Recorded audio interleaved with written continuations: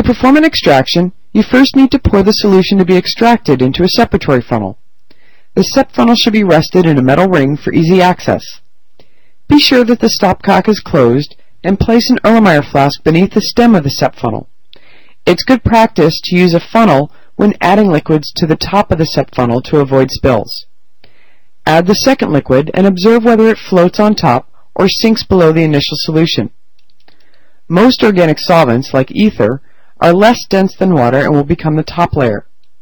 A notable exception is any halogenated solvent such as chloroform or dichloromethane, which is more dense than water and would be the bottom layer. Insert a stopper and hold the stopper in place with one hand throughout the entire mixing process. Lift the SEP funnel with both hands, tip it upside down, and immediately open the stopcock to vent any built-up pressure. Be sure to aim the stem away from yourself and others, as a few drops of liquid might be forced out along with the vapors being released. Gently begin shaking to mix the two layers, pausing frequently for venting. Mix the layers for a few minutes to ensure equilibration. Adequate mixing is needed in order for partitioning of the solutes to occur. Return the SEP funnel to the ring, remove the stopper, and allow the layers to separate. Once this, open the stopcock to drain the bottom layer into an Erlenmeyer flask.